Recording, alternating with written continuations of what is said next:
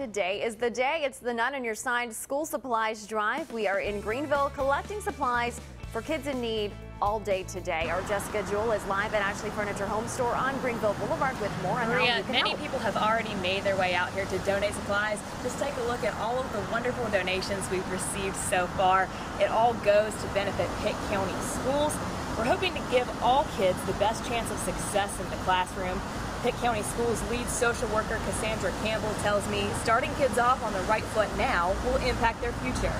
If they get the support that they need, they're more apt to have a better quality of life. And that is my goal, and my coworkers' goal is to make the lives of the children better so they can go in school, concentrate, eventually graduate from school, and become um, productive citizens.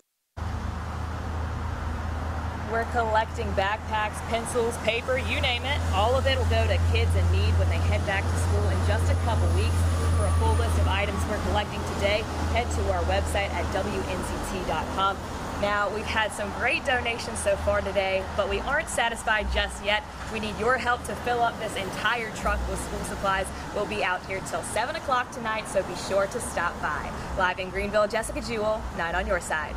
Jessica, thank you. Nice to see that truck filling up.